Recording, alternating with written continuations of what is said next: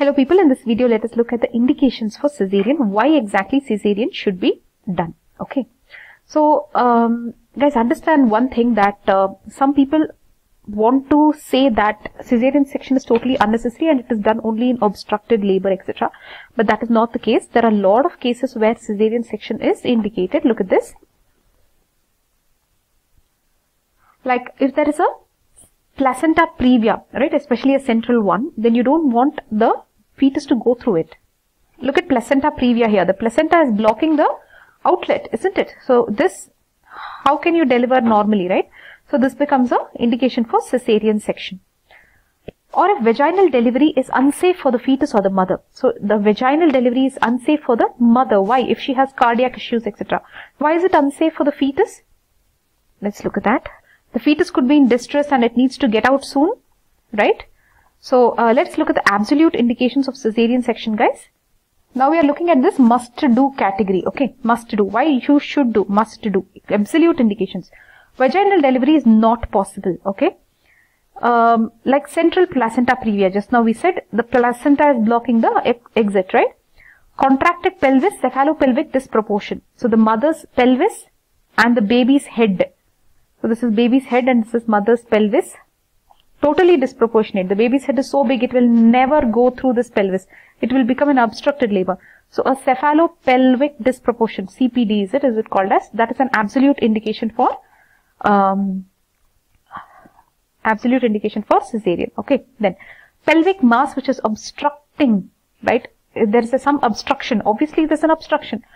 Like a cervical or a broad ligament fibroid. There's some fibroid there, right? How will the baby go through it? Then advanced carcinoma of the cervix. So what happens in advanced carcinoma of cervix? If I'm not wrong guys, they want to do a hysterectomy. So as well get the baby out kind of a thing. Okay, if there's advanced carcinoma cervix, do a cesarean. Vaginal obstruction like atresia or stenosis. What does this mean? Stenosis means narrowed opening. Atresia is kind of, uh, uh, what do you mean by atresia? The orifice or the passage of the body is closed or absent. It is closed or absent. Stenosis is narrow, but look at atresia. Atresia is kind of closed or absent itself. Closed. Stenosis is kind of narrow. Okay. So vaginal obstruction is there. Atresia is there. Stenosis is there. Then you will have to do a cesarean section. This is absolute indications. Come on, repeat the absolute indications of cesarean section. Cephalopelvic disproportion, placenta previa, then um, vaginal obst uh, obstruction, what is that? Stenosis, atresia, some pelvic tumor or some obstruction is there basically. And we also talked about uh, advanced carcinoma of the cervix, CA cervix, okay. So five things we got, is it? Look at this, yes, five things we have got. Excellent people. Now let's move on to relative indications. Relative indications means can do category, right? Can do. So you can do, can consider vaginal delivery may be possible, but risks to the mother and baby are high. So, cephalopelvic disproportion, which is a relative disproportion. Okay, they're not saying it is a complete disproportion. Cephalopelvic disproportion is coming here, is it? Then what was this called as? Contracted cephalopelvic disproportion. Both they have written here. Okay. Then, previous cesarean delivery. So, if there has been a previous cesarean delivery, to do a vaginal birth, you should have a lot of uh, help, support system, and uh, all the advancements, right? If you if you do not, then you can consider a repeat cesarean section. Okay. Then, fetal heart rate is non-reassuring. That's fetal distress. So it is diffi uh, difficult for the baby, right? So you're putting the baby's life, uh, giving the baby's life priority and you're doing a cesarean section for the baby's sake. Then dystocia, that is shoulder dystocia where the baby's shoulder are kind of stuck, is it? So this dystocia can be because of three things, the passenger, the passage or the power. So the passenger is the fetus, right? This is my, uh, how I'm drawing the fetus. This is, smiling. Basically, uh, this may be because of three things. There's a large fetus, that is the passenger is too large, or the pelvis is too small, that is the passage is too small, or inefficient uterine contractions. The uterine contractions are not sufficient to get this passenger out.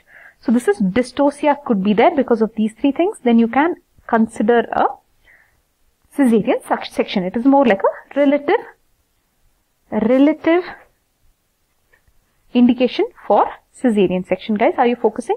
Till now, what did we look at? Relative indications for cesarean section, guys.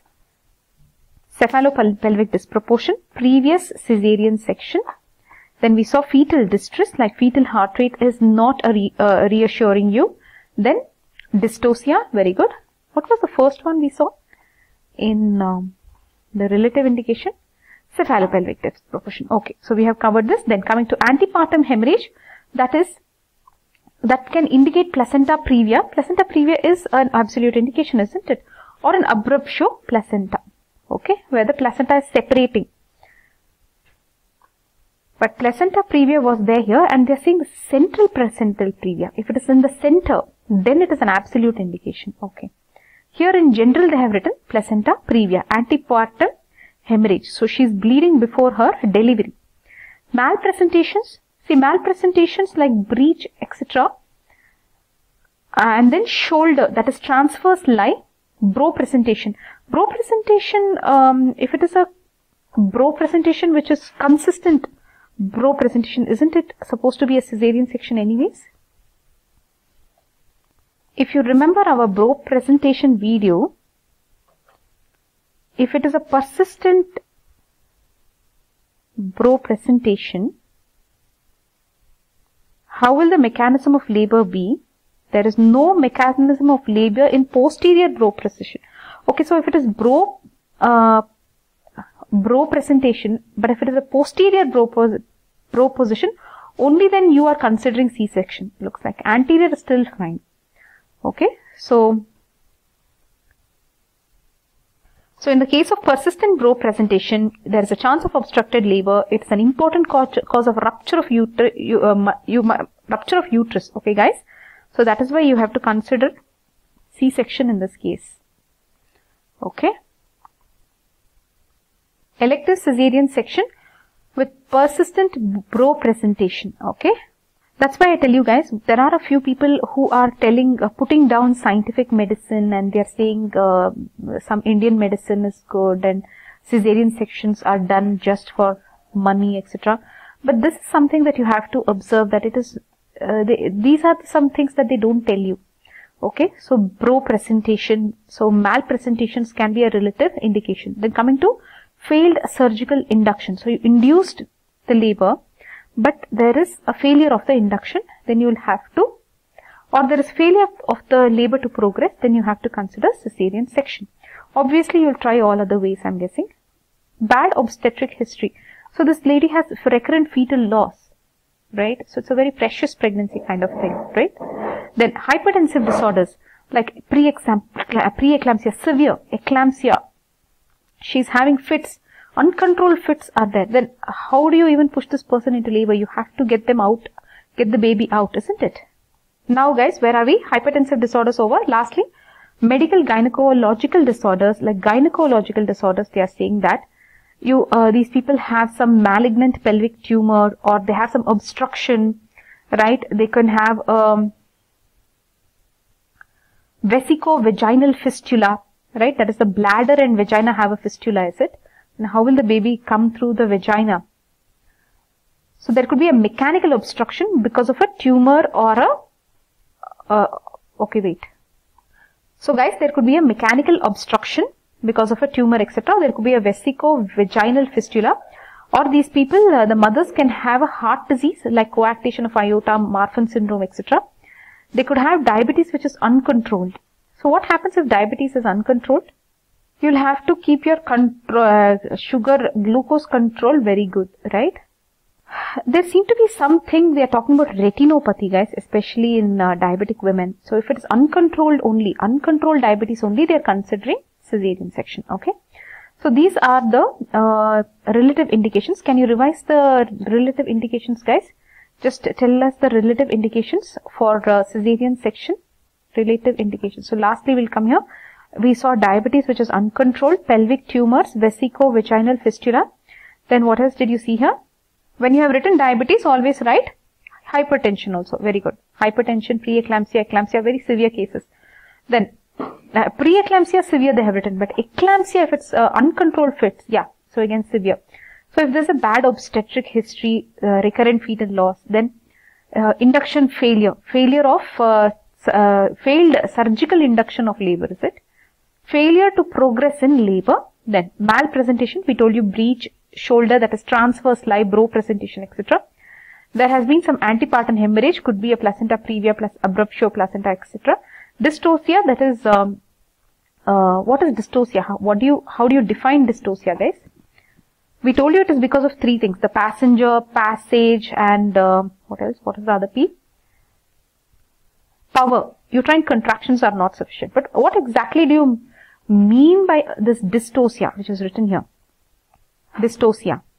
Dystocia meaning is actually prolonged or slowly progressing labor. Okay, dystocia is prolonged or slowly progressing labor. Then, fetal heart rate is not reassuring, so it is not at all good. Um, previous cesarean delivery, if she has had, especially if they have given some conditions here, it was because of some contracted pelvis. So the primary cesarean was because of some reasons like this one. Like there was a contracted pelvis. Okay? Or she has had two cesareans before. Or there's a dehiscence of the scar. The scar that was there uh, because of the previous cesarean there is dehiscence of the scar. What do you mean by dehiscence of the scar? That means it is kind of giving up. It's bursting open splitting. It hasn't ruptured yet but it may kind of and there was a classical cesarean done before classical cesarean means what classical means they didn't do a lower segment cesarean, right? It's a midline uterine incision, right? See, what they are doing here is a lower segment looks like. See, if this is the uterus, lower segment if they do, a lower segment is kind of fine. But if they have, if the previous cesarean section was a classical cesarean section, which is actually not done much at all. So basically this will be an indication for pre, uh, for this current cesarean section. So this classical they are saying they will do only if they are not able to access the lower uterine segment, okay? Or there could be some other specific indications for classical cesarean and cephalopelvic disproportion, okay? So these are the indications. We have seen the absolute indications and the relative indications. Now let us look at the common indications. Why in the world are cesareans being done? What are the common indications? The common indications is in the primigravida they are doing because there is failed indication, uh, induction. I'm thinking it's induction. Fetal distress. If there is fetal distress, they will do. Okay, this we can understand. Cephalopelvic disproportion, very good. This they have to do. Dystocia, dysfunctional labor. So this is like um, you have you are in labor and then they are doing a cesarean. That's really irritating, isn't it? Non-progress of labor.